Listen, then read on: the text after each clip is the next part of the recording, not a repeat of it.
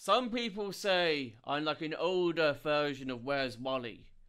Walter's dad from the Beano, or that kid that everyone picked on at school. You know, that guy who always smelled like piss. Other people say I'm so posh I don't even know what a Kardashian is. And I've ever masturbated into a rugby sock. Well, I'm here today to set the record straight. I've masturbated into many rugby socks before, and not a single one was mine. In fact, they were all owned by Boris. And he has such a knack for choosing smooth rugby socks that feel good on my skin, and which is why I am backing Boris to be Prime Minister after what's her face, you know, the pork market woman. Yes.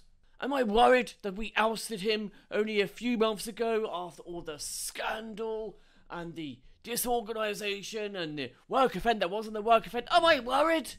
No! No, I'm not worried. And do you know why?